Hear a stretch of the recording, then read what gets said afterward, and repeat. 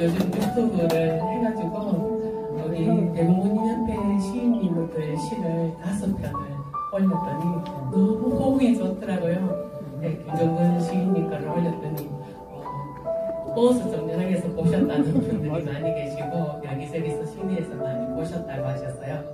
저는 이 시를 보면서 아, 우리 김정은 시인님 첫사랑을 이 시 속에 숨겨놓으셨구나 그렇게 생각하면서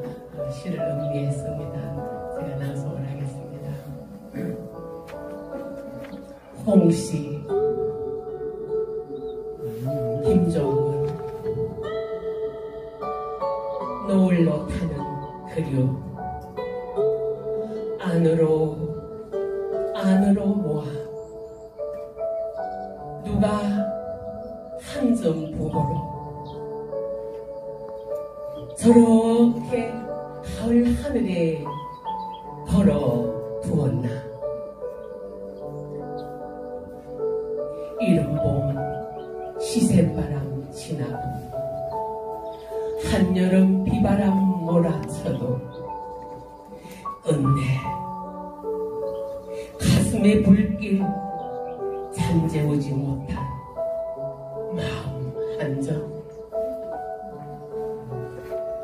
누가 저 뜨거운 상징을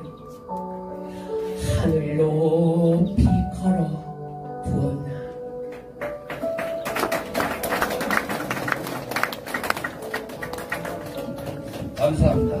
또 박수 한번 쳐주세요.